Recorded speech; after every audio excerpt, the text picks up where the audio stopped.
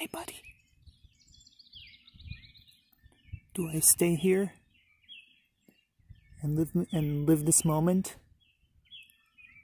or turn around and go get go to get them, and leave it forever?